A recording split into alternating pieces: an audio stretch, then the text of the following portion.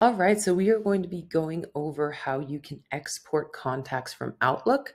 So as you can see right now, I am in Office 365. What I'm going to do is I'm going to go to the sidebar and go to the contacts area.